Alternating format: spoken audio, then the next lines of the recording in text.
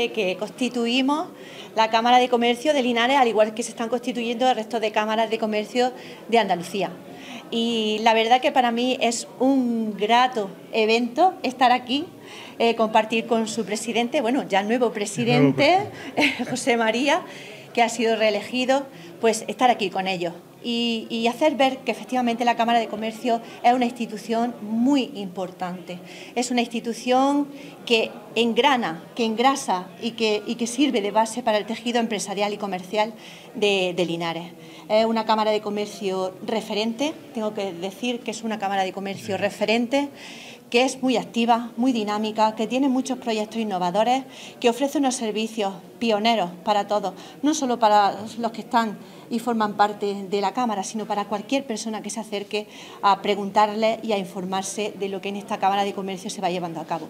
Felicitar a los nuevos vocales que forman parte, ya, ya son parte de la ejecutiva del Pleno de, de la Cámara de Comercio, dar la enhorabuena y el agradecimiento a aquellos que ya no forman parte y que han sido esenciales en el capital humano que, forma parte de esta Cámara de Comercio. Y reiterar que la Administración seguimos al lado de la Cámara de Comercio, que la Junta de Andalucía sigue apoyando a la Cámara de Comercio porque las cámaras de comercio son vertebradoras de nuestro territorio, son generadoras de empleo inversiones, eh, proyectos, con lo cual mueven un tejido que verdaderamente hoy en día es importante para cada demarcación donde ellas se ubican. Con lo cual, reitero la enhorabuena al trabajo que realizan desde aquí y reitero mi enhorabuena al presidente que ha, vuelto, que ha vuelto a ser reelegido y a todos aquellos que forman parte de la ejecutiva de esta Cámara de Comercio, con lo cual les sigo animando a que sigan trabajando en la senda que han seguido marcando y que verdaderamente pues, le está trayendo tantos frutos, tantas recompensas. Sí que es mucho a lo mejor a veces de vez en cuando quebradero de cabeza, ¿verdad, José María? Lógico, lógico, Pero sí que es cierto que también muchas recompensas, cuando te, ¿verdad? Cuando te presentan los problemas ya con la solución preparada, la verdad es que es muy bonito eso. Y el equipo humano que tenemos aquí, Exactamente. Eso, eso es lo la calidad humana me lo hace, la me lo hace muy fácil, me lo hace muy fácil. Así que enhorabuena y a seguir trabajando. Y aquí tiene a la Junta de Andalucía, la Delegación de Empleo, a vuestra espalda para lo que necesitéis. Que no son encontrados, son dos sentimientos fuertes que tengo. Por un lado, ese agradecimiento a que todo el Pleno, por unanimidad, haya contado de nuevo conmigo.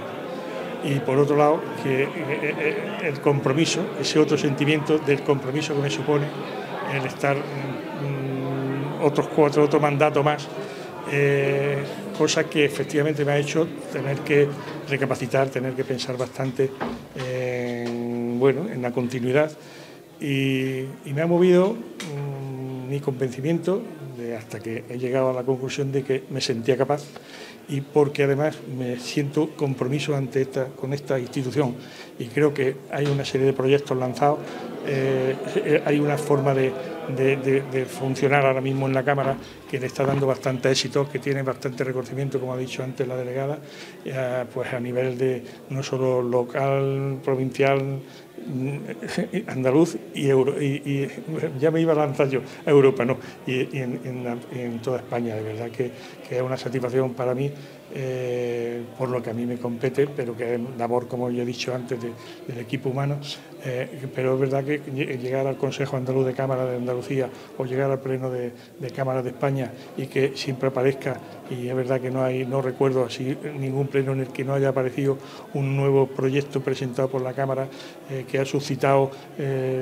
llamadas de, otras cámaras mm, pidiendo a ver de qué forma, como tal. O sea, eso la verdad es que se lo debemos a un pleno muy activo que, siempre ha respaldado y que ha, todas las iniciativas, nosotros nuestros pilares son, como sabéis, la innovación, la formación, la digitalización y, la internacionalización. Y en cada una de esas parcelas tenemos, yo creo que los mejores. Y, siempre están inventando con dinamismo, tratando de buscar cuál es la, lo nuevo, lo, novedoso, lo puntero. Y, a las pruebas me remito. Hace dos días he coincidido también con vosotros en la inauguración del laboratorio de ciberseguridad. Eh, estamos próximos a, clausurar el famoso proyecto STECH con, la Fundación del Real Madrid. Es decir,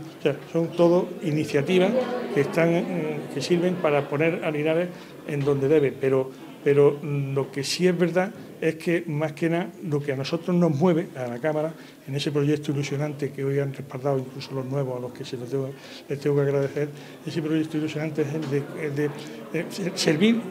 con todo nuestro volcarnos en el tejido empresarial, de, todo, todo el tejido empresarial que nos compete, que ya no es solo Linares, por, competencia tenemos asignada también, mientras se soluciona o no se soluciona lo de la Cámara de Jaén, pues también tenemos asignada la mitad de la provincia y, bueno, tenemos que, atender a todas las demandas que nos vienen y casi todos los, cursos, programas, proyectos van enfocados a, extendernos posiblemente a toda la provincia porque nos debemos, contra más fuerte eh, sea seamos más fuertes en la provincia, más, fuertes seremos nosotros.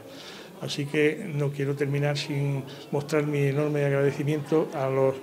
a los miembros del Pleno salientes y a los miembros del Comité Ejecutivo que, que han salido. ¿Qué, puedo yo decir de, de mis amigos, en especial de, Isaac o de, Agustín, que, tantísimo me han ayudado? No, solo a mí en particular, a esta Cámara, y creo y estoy convencido de que esta Cámara va a saber valorarlo en su, justo, en su justa medida porque han sido extraordinarios, han sido mi guía en ese sentido y yo se los tengo que agradecer. y agradecer a que a, estos nuevos, a, los que han repetido y a los nuevos que, se han fiado y que han, y que han porfiado por, por constituir también la mesa que hoy hemos eh, inaugurado aquí para el nuevo mandato. En la, Junta Ejecutiva eh, estamos, hay dos vocales, eh, Ana Espósito y Cristóbal Quesada. Ana Espósito eh, forma parte nueva del comité. Eh, Cristóbal, sabéis que, repite, en el sentido de que ha formado parte del comité ejecutivo anterior. Entonces, tesorero Juan Carlos García Morilla. Eh, y luego ya forma parte de la vicepresidencia segunda Fernando García, la vicepresidencia primera Patricio Lupiáñez y, yo mismo como presidente que, me han, que han depositado en mí la confianza. Así que me voy a sentir muy bien respaldado y muy bien acogido e impulsado por ellos todo lo que por mis limitaciones mm, me tengan ellos que apoyar y ayudar.